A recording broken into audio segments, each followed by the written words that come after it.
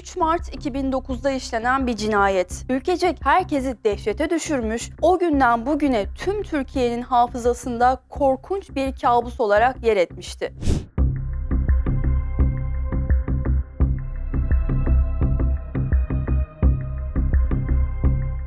Münevver Karabulut cinayetinden bahsediyorum. Türkiye'nin en zengin ailelerinden birisinin üyesi ve ünlü iş adamı Hayyam Garipoğlu'nun yeğeni Cem Garipoğlu tarafından öldürülen bu genç kızın cinayeti sonrasında yaşananlarla birlikte toplumumuzun hafızasında adeta bir travma haline geldi. Lanetli bir anı olarak ülkemizin tarihine yerleşen bu korkunç cinayet geçtiğimiz günlerde bizzat Münevver Karabulut'un babası Süreyya Bey tarafından ortaya atılan bir iddiayla tekrar gündeme yerleşti. Ee, doğrusu mezarın açılmasında buluyorum. İnşallah mezarda açılacağım. Süreyya Karabulut cinayetten sonra 197 gün boyunca polisten kaçan, sonrasında ise cezaevinde intihar ettiği haberi gelen Cem Garipoğlu'nun aslında ölmediğini, mezarının açılıp cesedinin incelenmesi gerektiğini talep etti. Bayramdan sonra açılacağım. Doğrusu mezarın açılmasında buluyorum. İnşallah mezarda açılacağım. Ben de bu dehşet iddianın üzerine olayla ilgili bir video yapmak gerektiğini düşündüm. Cem Garipoğlu gerçekten ölmedi ve kendisine intihar süsü verilerek kaçırıldı mı? Şimdi sizi yine o korkunç güne, olayların en başına götüreyim. 3 Mart 2009 gününün akşamı Etiler'de rutin işini yapan bir temizlik görevlisi yol üstündeki bir konteynerin içinde gördükleriyle dehşete düştü. Bir gitar kutusunun içinde başı gövdesinden ayrılmış genç bir kızın cesedini bulan görevli derhal polisleri aradı. Üzerinde kimlik namına hiçbir şeyin bulunmadığı genç kızın kim olduğu yapılan otopsinin ardından ortaya çıktı. Ceset 18 yaşındaki Münevver Karabulut'a aitti. Otopsinin detaylarında başı gövdesinden ayrılmadan önce defalarca bıçaklandığı ortaya çıkan Münevver'in cinayetindeki baş şüpheli o dönem sevgilisi olan Cem Garipoğlu'ydu. Zaten kısa süre sonra MOBESE kayıtlarının yardımıyla bu canavarca hislerle işlendiği belli olan cinayeti kendisinin işlediği de ortaya çıktı. Olay medyaya yansıdığında deyim yerindeyse yer yerinden oynamıştı. İş dünyasının en bilinen ailelerinden birisinin üyesinin ülkenin en zengin semtlerinden birinde işlediği cinayet hakkında birçok komplo teorisi üretilirken cinayeti işleyen Cem Garipoğlu'nun bir türlü yakalanamaması da adeta bu komploları haklı çıkarır nitelikteydi. Yaptıklarıyla tüm Türkiye'yi dehşete düşüren katil tam da herkesin yakalanacağından ümidini yitirdiği bir dönemde cinayetten 197 gün sonra teslim oldu. Bir anda yeniden ülkenin gündemine bomba gibi düşen Cem Garipoğlu, teslim olduktan sonra yargılandığı Bakırköy 4. Ağır Ceza Mahkemesi'nde 18 Kasım 2011 tarihinde alınan kararla kendisinin alabileceği en ağır ceza olan 24 yıl hapisle cezalandırıldı. Tabii o dönemde birçok kişi müebbet yerine bu cezanın verilmesine isyan etti. Ancak şöyle bir durum vardı ki Cem Garipoğlu cinayeti işlediğinde 18 yaşından küçüktü. Yani anayasada verilebilecek en yüksek ceza bu olduğu için mahkeme bu kararı uygun görmüştü. Tabii Cem Garipoğlu'nun verdiği ifadelerde o dönemde bayağı bir tartışılmıştı. Şimdi size bu ifadeleri birebir aktarıyorum. Ben olaydan bir yıl önce Bebek'te tesadüfen Münevver Karabulut'la tanıştım. 5 ay sonra da sevgili olduk. 7-8 kez evimize geldi. Münevver'i annemle de tanıştırdım. Münevver'le ilişkisini bu şekilde anlatan Cem, ifadelerinin devamında dehşet gününü şöyle anlatıyordu.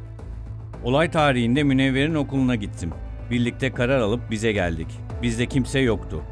Arka bahçeden içeriye girdik. İki sevgili gibi öpüştük sarıldık. O sırada Münevver lavaboya gitti. Masanın üzerinde bulunan telefonunu karıştırdım, mesajlarına baktım. Sevgilim canım yazılı mesajları gördüm. Mesajların ne olduğunu sordum. Münevver de ben seni seviyorum, bu mesajın önemi yok dedi. Münevver'in bu umursamaz tavrı beni çok kızdırdı. Israrlarla mesajın kimden geldiğini sordum. Sen benim babam mısın soruyorsun dedi, tartışma çıktı. Münevver'i çok sevdiğim için deliye döndüm.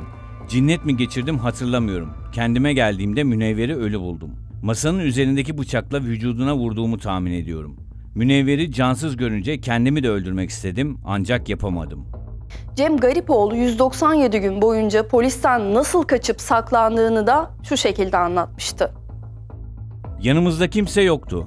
Babam bana ne olduğunu sordu, beni sıkıştırdı. Ben de kız arkadaşım Münevver'in eve geldiğini, içtiğimizi ve onu kazayla ittiğim sırada kafasını masaya çarptığını söyledim. Evdeki kanın bu şekilde oluştuğunu söyledim. Babam da bana Münevver'i ara durumunu sor dedi. Babamdan gerçeği gizledim. Şirket çalışanları Mehmet Karakayalı ve Habib Kurt'un bulunduğu lojmana geldik. Babam beni burada bıraktı ve gitti. Mehmet Karakayalı bana soru sormaya başladı. Ben de babamla tartıştığımı söyledim. Bir süre sonra lojmana çıktım. Babam sonra geri geldi. Bahçeşehir'de bulunan bir kafeye gitmek istediğimi söyledim. Babam beni kafeye bıraktı. Bir süre kafede tek başıma oturdum. Sonra hatırladığım bir şahıs geldi yanıma. Uzun boyluydu. Beni tanıdığını düşündüm ve arabaya bindim. Bu kişiyle birlikte bilmediğim bir yere gittik. 6 saat yolculuk yaptık. 6 ay boyunca tek başıma bir evde kaldım. Tanımadığım bir kişi 10 günde bir gelip yiyecek bırakıyordu. Saklandığım sırada ailemden kimseyle görüşmedim. 7 ay sonunda bir kişi eve geldi ve beni teslim edeceğini söyledi. Olup bitenleri televizyondan izliyordum. Ben bu kişiye teslim olacağımı söyledim. Bu kişiyle birlikte yolculuk yaptık. Daha sonra yol kenarında beni bıraktı ve birazdan gelecek araca bin dedi. O araca bindim. Araçta avukat Aytekin Kaya vardı. Avukat bana büfeden yiyecek aldı. Daha sonra gelip polisler beni aldı. Pişmanım. Böyle bir suçu işlemek istemezdim. Keşke onun yerine ben ölseydim. Keşke onu geri getirmek mümkün olsaydı. Ailesi için zor bir durum. Benim yüzümden kızları öldü. Kendi ailem için de üzgünüm. Oğulları katil oldu. Suçu tek başıma işledim, pişmanım. Katilin en azından yakalanıp cezaevine konmasıyla birlikte Türk halkının yüreğine su serpilmiş ama bu dehşetengiz cinayet hakkında haberler daha bitmemişti. Aynı yılın 10 Ekim sabahı sayıma gelen gardiyanların 3 kişilik koğuşta tek başına kalan Cem Garipoğlu'nun cansız bedenini bulması yine ve yeniden Münevver Karabulut cinayetini gündeme getirdi. Cem Garipoğlu'nun başına poşet geçirip çamaşır ipiyle kendisini boğarak intihar ettiği kaydedilmişti. Ancak bu haber halkın belli bir kesiminde hep bir şüpheyle karşılandı. Bu kadar güçlü bir ailenin Cem Garipoğlu'nu intihar süsü verdirerek kaçırdığı iddiası sürekli dile getirildi. Bu arada güçlü aile dedik ya, Hazır yeri gelmişken Garipoğlu ailesi hakkında o günden beri dillendirilen başka iddialardan da söz edeyim madem. Efendim aile o günden beri hep garip özellikleriyle anılır oldu. Hatta ve hatta Münevver Karabulut'un bir aşk cinayetine gitmediği, aile içindeki gizli ve mistik inanışlar nedeniyle kurban edildiği söylenip durdu. Tabii altını çizerek söyleyeyim, bunlar sadece iddia. Ancak bu söylentiler boşuna ortaya atılmış değil. Cem Garipoğlu'nun kuzeni Fatih Garipoğlu'nun 2013 yılında düzenlediği nişan partisiyle ilgili görselleri görenler o dönemde herkese şok geçirtmişti. Birçok garip fotoğraf ve görüntünün olduğu parti adeta şeytani ve masonik bir ayin gibi görünüyordu. Asıl dehşete düşeceğiniz tarafsa nişanın tarihi. 3 Mart. Evet, Münevver'in vahşice öldürüldüğü tarih. Tabii zamanla bunları da sindiren halk tam bu kafa karıştırıcı görüntüleri unutmak üzereyken bu adı gibi garip aileden yakın zamanda gelen başka bir fotoğraf yine ve yeniden mide bulandırdı. Cem Garipoğlu'nun kız kardeşinin geçen sene paylaştığı bir fotoğrafta ailenin Münevver Karabulut'un üzerine kanlarının saçıldığı sehpa ve kanepeyi hala kullandığı ortaya çıktı. Düşünün evinizde bir cinayet işleniyor, bir kızın kafası kesiliyor ve siz üzerinde böylesi bir vahşetin yaşandığı kanepeyi temizleyip kullanmaya devam ediyorsunuz. Zaten yıllar önce cinayetin işlendiği ilk dönemlerde Münevver'in babası Süreyya Karabulut'un şöyle bir iddiası vardı. Kızım satanist ayininde öldürüldü. İşte şimdi bugünlerde aynı baba bir başka iddiayla gündemde. Beyefendi şu sözlerle içini döktü. 8 yıldır kabusun içindeyim. O celladın cesedini görseydim belki ikna olurdum. Ama cesedini göstermediler. İntihar ettiğine inanmıyorum. Ya öldürüldü ya kaçırıldı. Mezarının açılmasını talep edeceğim. Yoksa bu kabus bitmeyecek.